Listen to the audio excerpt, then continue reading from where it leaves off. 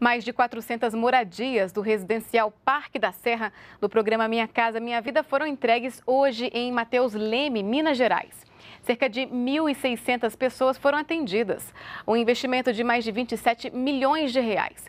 O residencial conta com infraestrutura completa, como energia elétrica e transporte público.